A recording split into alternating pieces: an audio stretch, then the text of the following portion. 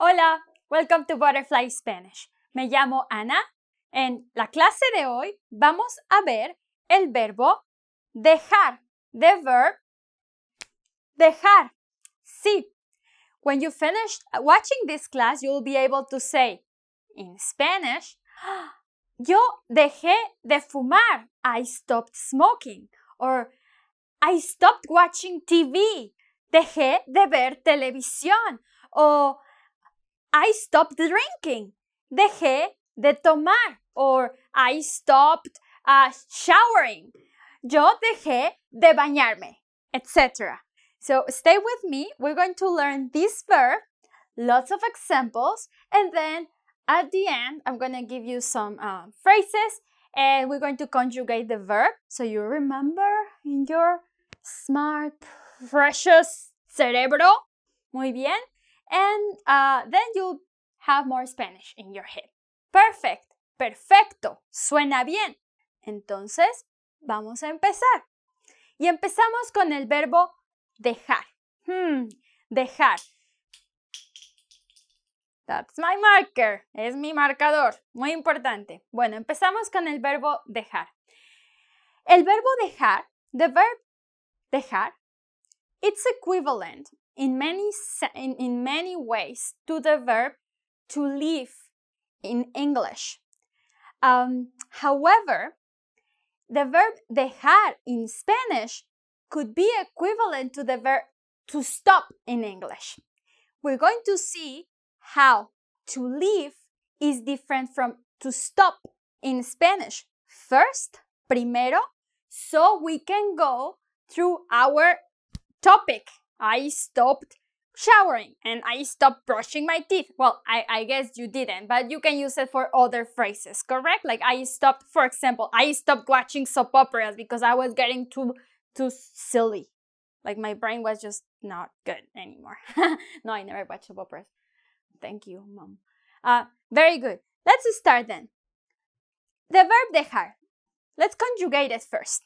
So you remember the conjugation. Dejar ends with an AR. First conjugation in Spanish. Primera conjugación. Yo dejo. Tú, tú, tú. Tú dejas. Él o ella o usted deja. Oh, I see. Here is él, ella, usted. Here, dejas. When I write dejas, tú dejas y dejas, it is because in Argentina, in parts of South America, they say dejas. We, nosotros, perfecto. Nosotros dejamos. Muy bien. In Spain they say, vosotros dejáis. Vosotros dejáis. But in Latin America, we say ustedes, ustedes dejan. Remember, vosotros and ustedes, same thing, but in different parts of the world. Ustedes dejan and the next is so easy because it's just the same conjugation as ustedes, but it is for they, males, and they, females. Ellos, or females is ellas dejan. And as you can see, it is the same thing. Same thing. The same here. It is the same thing. When you say deja, you can use it for él, ella, o usted, formal, Muy bien. That's the present.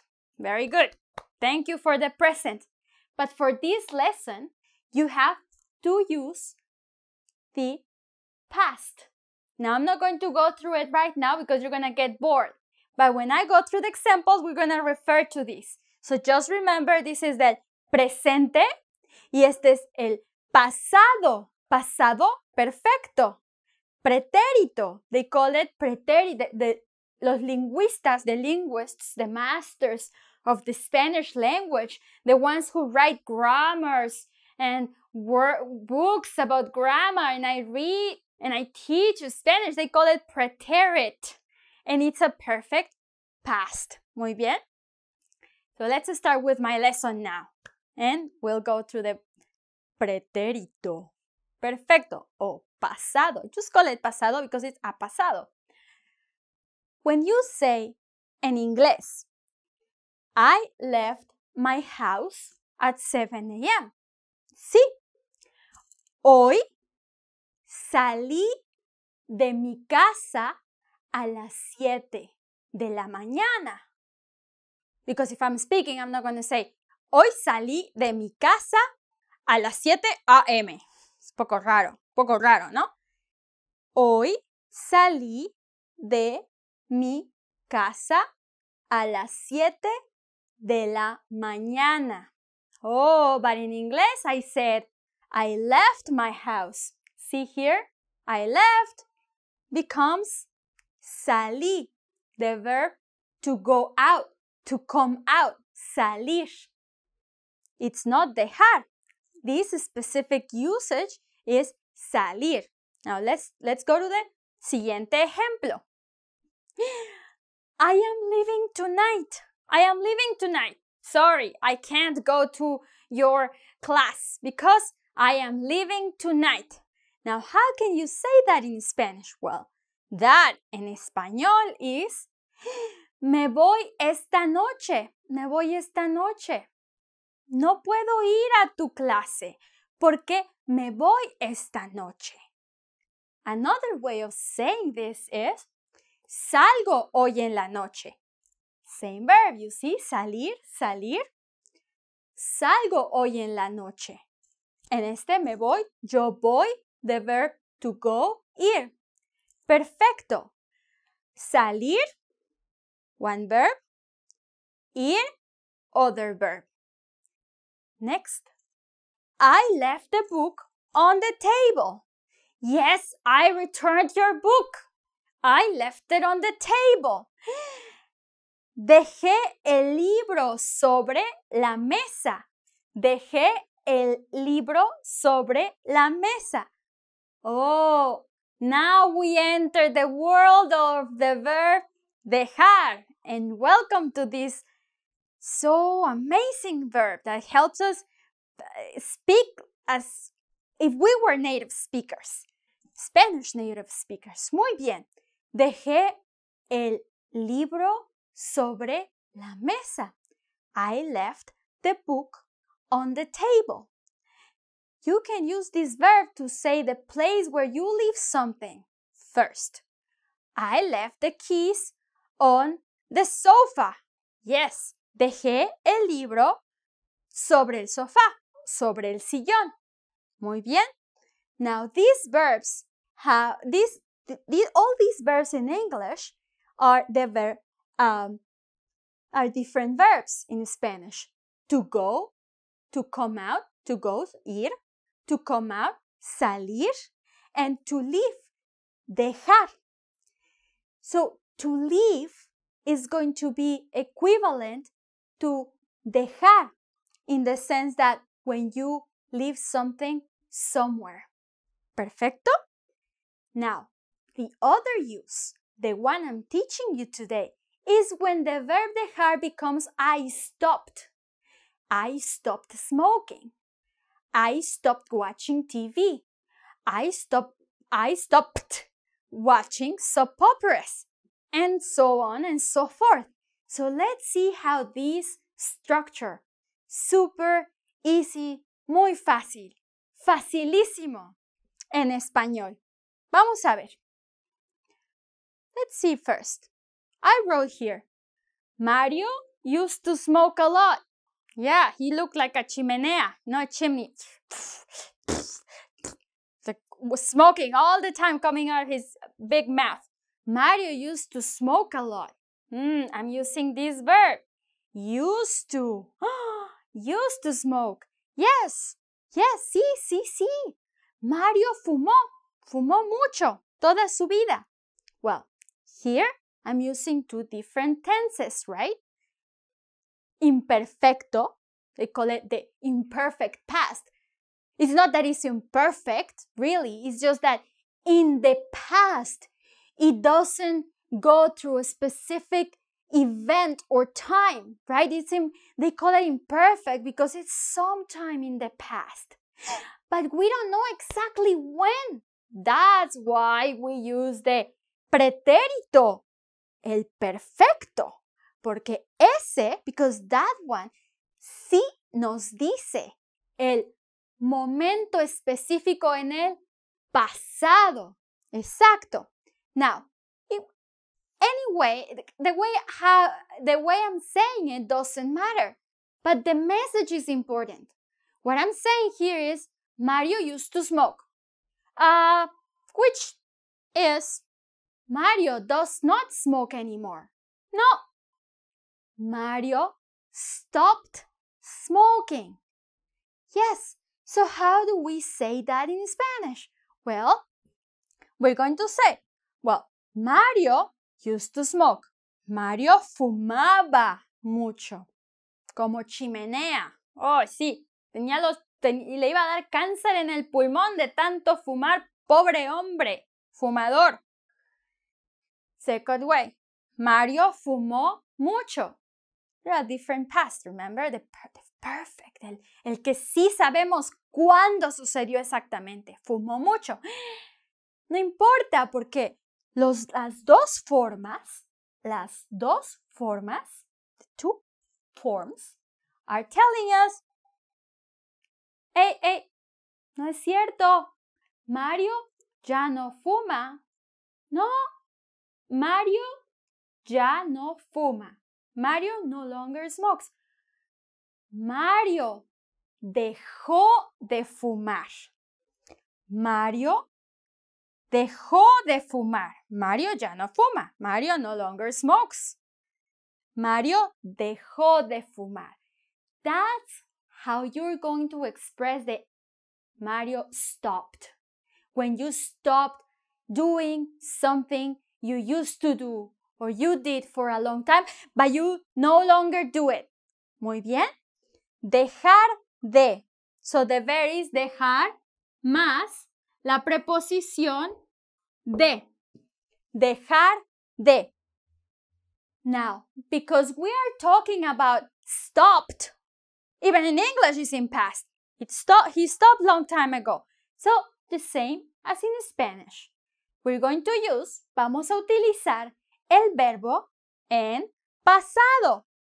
That's why, por eso, puse el verbo en pasado. If I stopped, digo, yo dejé. If you stopped, tú dejaste. If usted o él o ella, ella dejó. Él dejó.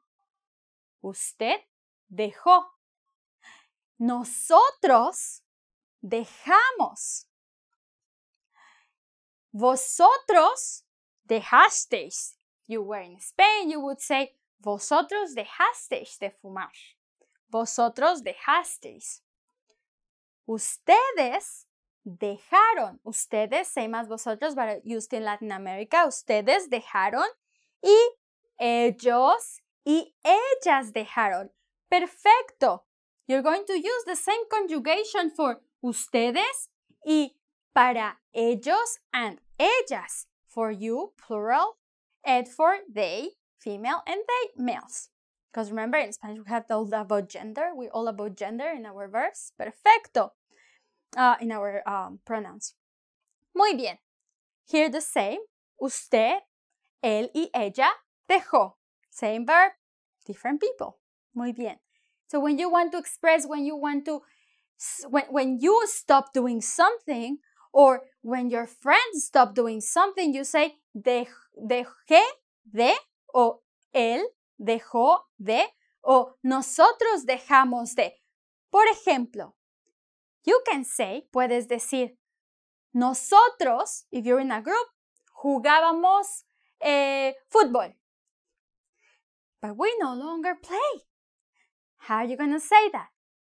Sí, nosotros, nosotros dejamos. Nosotros dejamos preposición de.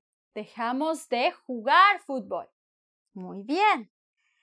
Let's go to some ejemplos. Vamos a ver algunos ejemplos para, para activarnos, para tener energía. Levántate, levántate y pon atención, porque te voy a hacer preguntas, because I'm going to ask you questions. I need to see you're paying attention. Muy bien. mi primer ejemplo, my first example. Mis hermanos, they, correcto, porque son mis hermanos, hombres, tomaban mucho.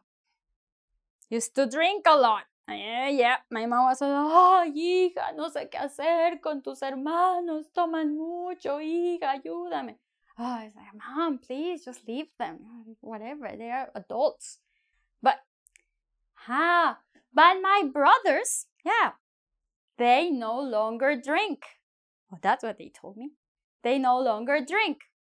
Yes, they, mis hermanos, stopped drinking. Ah, now you say that in Spanish.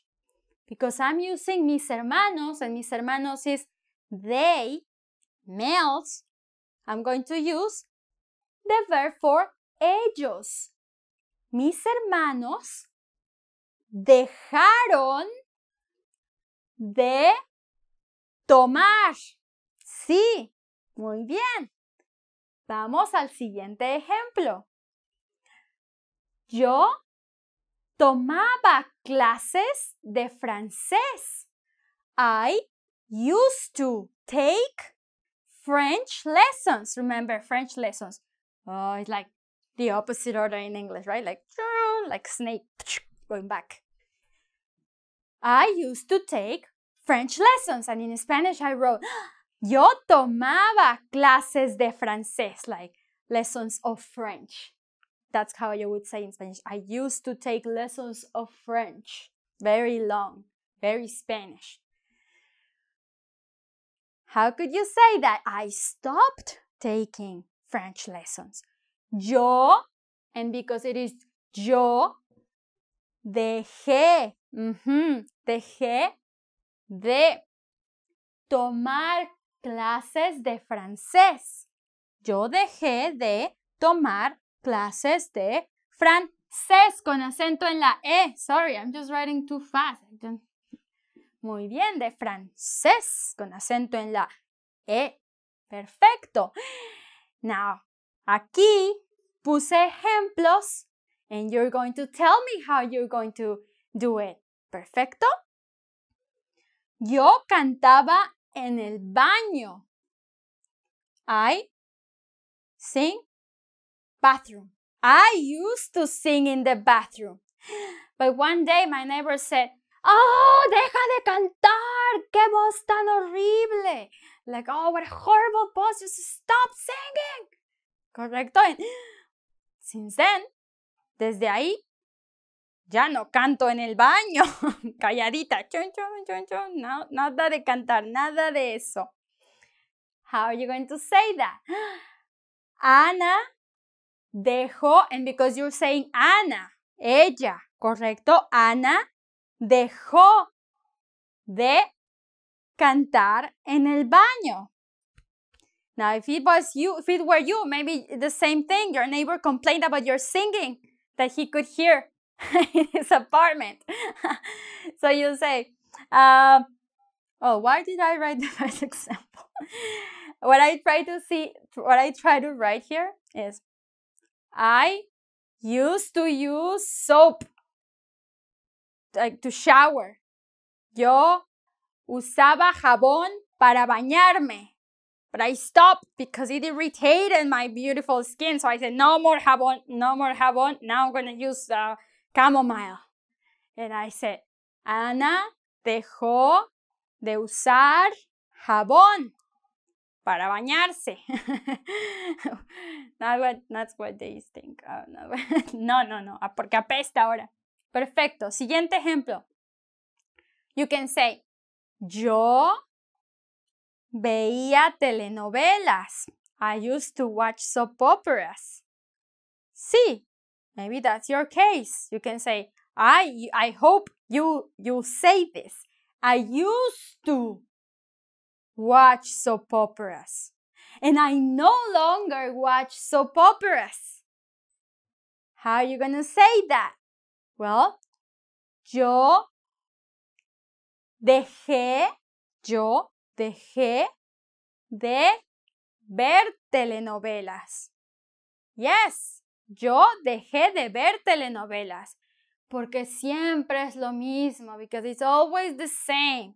It's like the poor woman who falls in love with a rich guy and then his family opposes the marriage because she's from a lower class. But then they don't know that she's actually a millionaire because her uh, father or like the father who never recognized her now is sick in the hospital and he's gonna leave his millions to her. So now those people are gonna pay for all the suffering that they caused to the and they are all versions of this story with like more this or that or the other there might be like the person who is rich and tries to not get her to fall in love and the ugly aunt that wants all like the same thing right so that's why thank you i i i congratulate you that you dejaste que tú tú dejaste de ver telenovelas. Bravo, bravo. Qué bueno, me da felicidad, me da gusto porque las telenovelas son malas para la cabeza, te hacen tonto. Sí, sí, te hacen tonto. ¿Quieres ser tonto? No, quieres ser inteligente. You don't want to be silly or dumb, you want to be smart. So don't watch telenovelas. Muy bien, qué bueno. Perfect. So for this uh, type of uh, information, for this communication in Spanish, when you want to express something that you no longer do, how are you going to say it? I stopped. I stopped walking uh, by the lake. Yo dejé de caminar por el lago. What is the whole structure I'm teaching you? Why am I using this only one verb for all this blah, blah, blah? Well, it has a reason. You can express a lot of information, mucha información. Puedes dar mucha información. Puedes hablar mucho.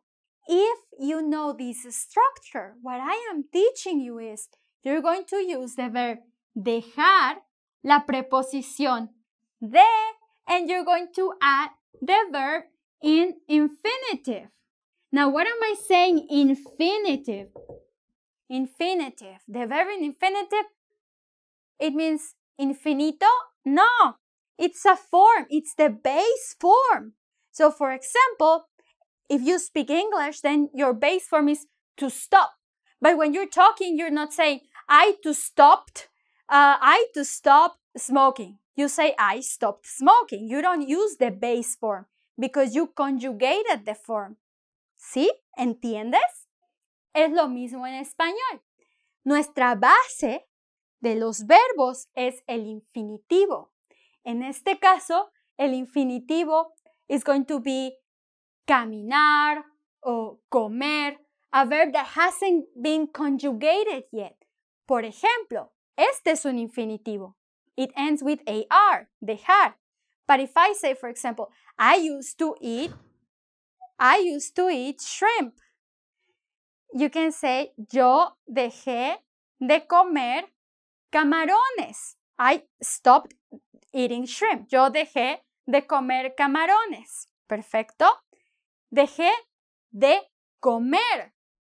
I am conjugating the verb dejar. Lo estoy, dejar lo estoy conjugando. Estoy diciendo, yo dejé.